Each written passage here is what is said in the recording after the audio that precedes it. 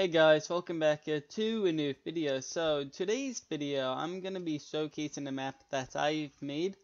Download link in the description down below if you don't feel like listening to me talk.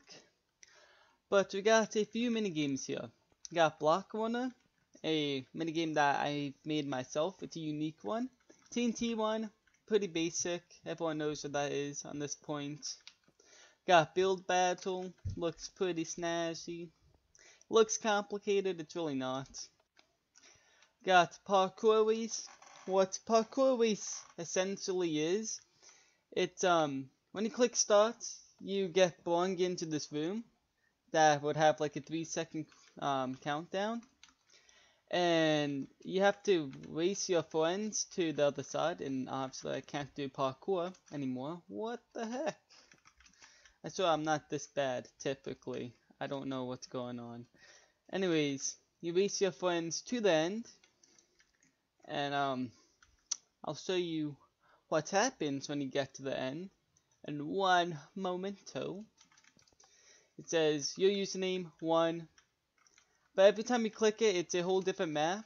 Well, it's not a whole different map. It's just like it randomizes between those ten right there. Let's go back to hub and show you guys Block Runner because I don't got all day.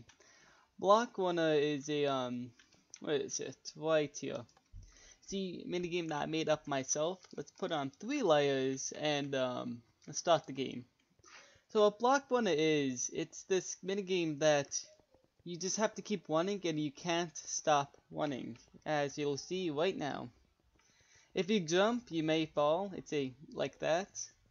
You just have to keep on running. You can probably walk as well. Yeah, you could. You have enough speed.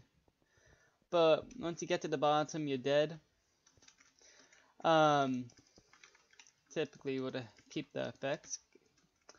But going back here, actually I don't want to break a sign. There we go. Slash effect. My can't type. Wiscers clear. Got that's all for the unique mini games. You guys believe you can pick between three maps and what layer you want to start off on. So let's pick rainbow, one layer, and start the game. Let's just say that. So this is the rainbow spleef.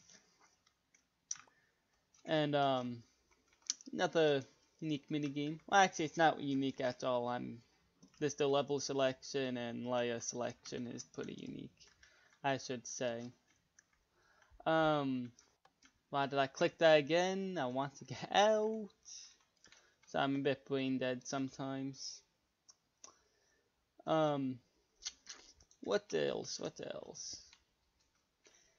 Back to hub. I think that's it really. We got Deathrun, TNT run's pretty basic. Actually, there's a unique mechanic in this TNT run that I've never seen before. So when you click start, get to the corner, you get three snowballs, and what these snowballs do, so I'll show you in a second. You wait for the firework to go down. There you go. What these snowballs do is, if you fall, you can get back up. Also, the corner's closes, so can't cheat and hide up there. We got three chances of life. So, if you want to play like that, oh my. It's like we first drop, Dwapper. I'm bad at this right now. Bad at, at everything apparently. And um, it's another cool mechanic in this, if you guys want to play with that. And um, I believe if you don't go to a corner, your snowballs will be taken away. So people can't have them for, have like extra in the more, like the second round go.